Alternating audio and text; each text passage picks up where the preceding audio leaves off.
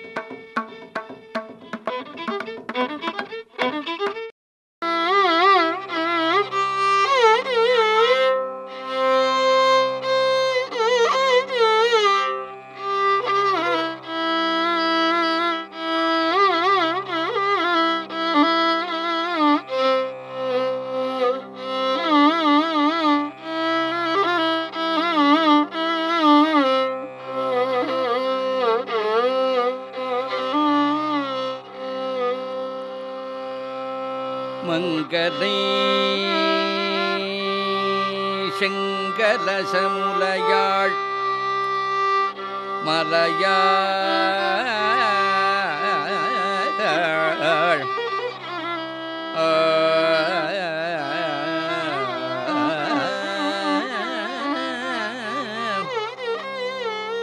மங்கனை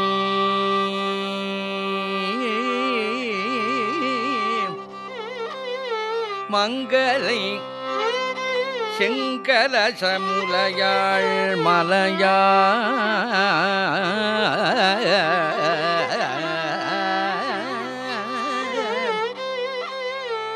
வருண சங்கரை செங்கை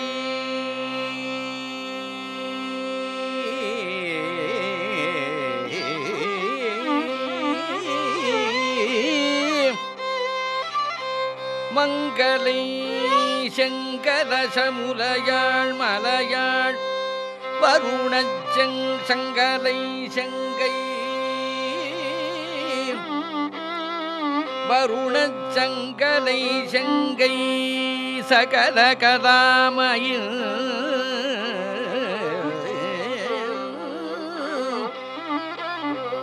மங்களை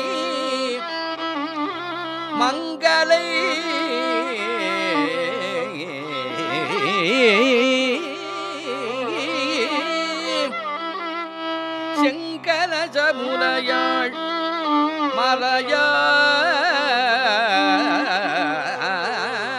மலையாள் வருண சங்கரை செங்கை சகல கதாமையின்.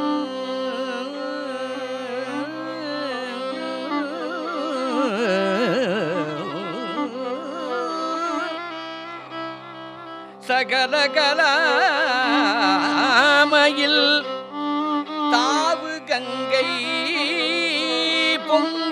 பொங்கு தங்கு புரிசடையோன் புடை ஆளுடையான்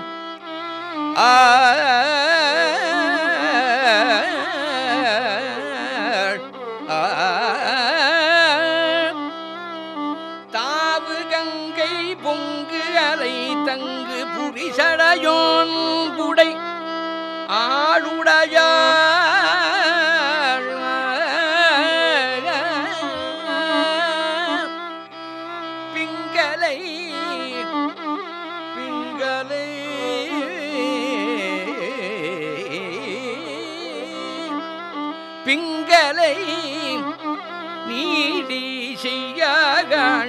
செய்யாள்.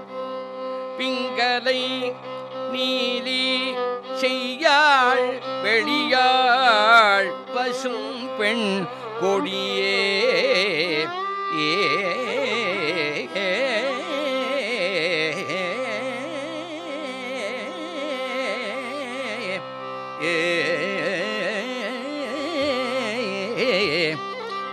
மங்கரை செங்கல சமுலையாள் மலையாள் வருணச்சங்கரை செங்கை சகரகலாமையில் தாவு கங்கை பொங்கலை தங்கு புரிசடையோன் புடை ஆளுடையாள்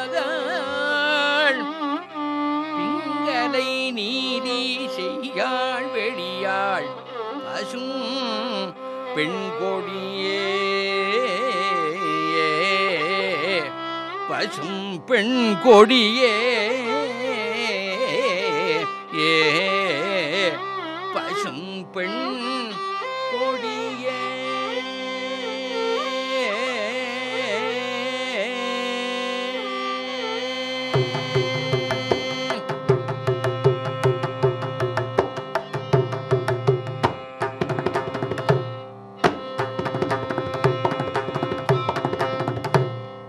அபிராமி அந்தாதி விளக்க உரையில் இன்றைக்கு இடம்பெறுகின்ற பாசுரம் மங்கலை என்று தொடங்கும் பாசுரமாகும்.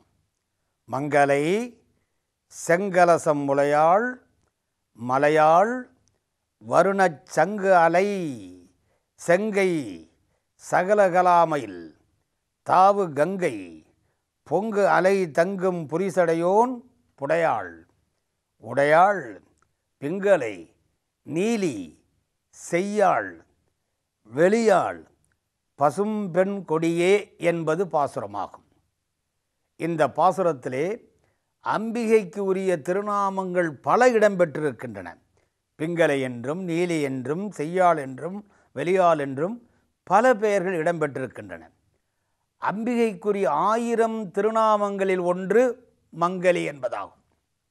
மங்கலி என்பதற்கு என்ன பொருள் என்று கேட்டால் சுமங்கலி என்று பொருளாகும். இந்திய திருநாட்டில் ஒவ்வொரு பெண்ணையும் பார்க்கின்ற பொழுது அம்பிகையினுடைய அம்சமாகவே பார்க்க வேண்டும் என்பது நம்முடைய பண்பாடாகும்.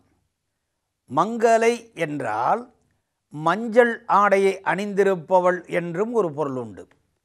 அதனால்தான் அம்பிகைக்கு எந்த ஊரிலே எந்த திருக்கோயிலிலே ஆடை சார்த்தினாலும் மஞ்சள் வர்ணத்தில் சாத்துவது வழக்கமாகும். எனவே மஞ்சள் நிறத்தை உடையவள். மங்களாம்பிகா என்று ஒரு பெயரும் அவளுக்கு உண்டு. திருவிடை மருதூரிலே மங்களாம்பிகா என்ப மங்களாம்பிகை என்பவள்தான் தேவி ஆவாள். செவ்வாய்க்கிழமைக்கு மங்களவாரம் என்று பெயர். திங்கட்கிழமை சோமவாரம் செவ்வாய்க்கிழமை மங்களவாரம். அந்த மங்களவாரத்திற்குரிய தேவி யார் என்று கேட்டால் துர்க்கை. மங்களவாரத்தன்று துர்க்கையை சிந்தித்து அவளை பூஜித்து வந்தால் வாழ்க்கையில் கிட்டாத நன்மைகளெல்லாம் கிட்டும் என்பார்கள். எனவே மங்களை என்பதை தக்கையாக பரணியிலே ஒட்டக்கூத்தர் பாடியிருக்கிறார். ஏ தேவி நீ உன் பெயர் மங்களை. சங்கரனால் மனை மங்களமாம் அவளே. சங்கரன் என்றால் சிவபெருமான். அந்த சிவபெருமானுக்கு உரிய தேவி மங்கலை ம- சங்கரனார் மனை மங்களமாம் அவளே என்று. மீண்டும் அதே ஒட்டக்கூத்தர் மழுவார் திருநெடுங் மங்கள மகளே என்பார். எனவே மங்கலை என்ற சொல்லாட்சி பல இடையில பல இடங்களில் இலக்கியத்தில் புகழ்ந்து சிறப்பித்து பேசப்படுகின்றது. தேவி பாகவதத்தில் அவளுக்கு சர்வமங்களா என்ற ஒரு பெயர் உண்டு ஏனென்றால் ஒரு அடியாருக்கு வேண்டிய அத்தனை கல்யாண குணங்களையும் கொண்டு வந்து சேர்ப்பவள் அம்பிகை தேவி. அதனால் இவளுக்கு சர்வமங்களா என்றொரு பெயர் உண்டு இன்னும் சொல்லப் போனால் சுகாசினி என்றும் சொல்லுவார் சுகாசினி என்றாலும் சுமங்கலி என்று பொருளாகும். நம்ம வழக்கில் பேசுகின்ற பொழுது கட்டுக்கெழுத்தி என்று சொல்லுவார்கள். அப்போ கட்டுக்கழுத்தி என்றால் கணவனோடு சேர்ந்து நிறைவாழ்வு வாழ்கின்றவள். அவளுக்கு சுகாசினி என்று பெயர். இதை தேவி பாகவதம் சதாசிவ பதிவிரதை என்று சொல்லும். சதாசிவ பதிவிரதை என்று பெயர். எனவே மங்கலை என்பதற்கு இவளது வியாக்கியானங்கள் தேவி பாகவதத்திலும் தக்கையாக பரணியிலும் கிடைக்கப்பெறுகின்றன மங்களை மங்கலை அடுத்து தொடர்ந்து வருவது செங்கலசம் முலையாள் அவளுடைய மார்பகங்கள் எப்படி இருக்கும் என்று கேட்டால் செம்மை நிறம் வாய்ந்தவையாக இருக்கும். அந்த செம்மை நிறம் எப்படி வந்தது என்று கேட்டால் குங்குமம் குங்குமத்தை தோய்ப்பதால் அவளுடைய மார்பகங்கள் செம்மை வாய்ந்தவனாக வாய்ந்தவையாக அமைகின்றன. அறுபத் தேவிக்குரிய அறுபத்தி நான்கு உபச்சாரங்களில் குங்குமத்தோயம் ஒன்று. அந்த குங்குமத்தை தேவியினுடைய மார்பகங்களில் பூசி காட்டுவதால் செங்கலசம் கலசத்தை போன்ற மார்பகங்களை உடையவள். சக்கச்சவேர் என்ற குங்குமத்தை அடிக்கடி தோய்த்து தோய்த்து சிவப்பாகி போன கலசம் மாதிரி மார்பகங்களை உடையவள் செங்கலசம் உடையாள். அடுத்து மலையாள்.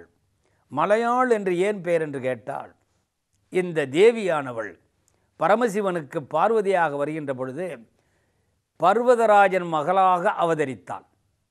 பர்வதம் என்றால் மலை என்று பெயர் பொருள். பர்வதம் என்றால் மலை. அந்த மலைரா மலைராஜனுக்கு பிறந்த காரணத்தினால் அவளுக்கு பார்வதி என்று பெயர். அதனால் மலையாள் இன்னும் சொல்ல போனால் சங்கீத மும்மூர்த்திகளில் ஒருவராகிய ஷியாமா சாஸ்திரிகள் தேவியை பற்றி சொல்லுகின்ற பொழுது மேருமலையில் மத்தியில் இருப்பவளே என்ற பொருளில் ஷூமேரு மத்திய வீட வாசினி என்பார். ஷூமேரு மத்திய பீட வாசினி என்பார். அது மேருமலையில் மத்தியில் இருக்கக்கூடியவளே என்பது பொருளாகும். இன்னும் தேவிக்குரிய கொடி ஒன்று உண்டு. அந்த கொடியிலே புதிய மலையை வரைந்திருப்பார்கள். புதிய மலையையே தன்னுடைய கொடியில் கொண்டிருப்பதால் இவளுக்கு மலையாள் என்றொரு பெயரும் உண்டு. மலையாள் வருணச் சங்கு அலை செங்கை. அவள் செங்கை சிவந்த கரங்கள். அந்த சிவந்த கரங்களிலே வளையல் அணிந்திருப்பாள். அந்த வளையல் எப்படிப்பட்ட வளையல் என்று கேட்டால் வருணச் சங்கு அலை செங்கை என்றார். வருணம் என்பதற்கு மூன்று பொருள் சிறப்பு வாய்ந்த என்று ஒரு பொருள் தண்ணீர் என்று ஒரு பொருள் இன்னொன்று சலதி என்று ஒரு பொருள். மூன்று பொருள் உண்டு.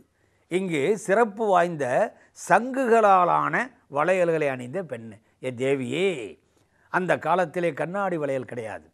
சங்கினை எடுத்து அறுத்து அதிலிருந்து தான் வளையல்களை செய்வார்கள். அப்போ சங்கினால் ஆகிய வளையல்களை அணிந்த ஏ தேவியே என்பதை வருண சங்கு அலை என்றால் வலையில் என்ன செய்யும்? போட்டால் ஒரு இடத்துல இருக்காது. இங்கேயும் எங்கேயும் ஓடிக்கிட்டே இருக்கும். அப்படி சங்கு அலைகின்ற செங்கையை உடையவள். இன்னொரு வருண சங்கு அலை செங்கை என்று சொல்லப்பட்டதற்கு இன்னொரு காரணம் உண்டு. தேவிக்கு ஒரு முறை வருண பகவான் சங்குகளால் ஆகிய வளையலை பரிசாக தந்தான். அதனால் வருண சங்கலை செங்கை என்று அபிராமிப்பட்டர் பாடினார். இன்னும் சொல்ல போனால் அவள் கலாப மயில் கூட. செங்கமல சகல கலாவயில் கலாமயில்.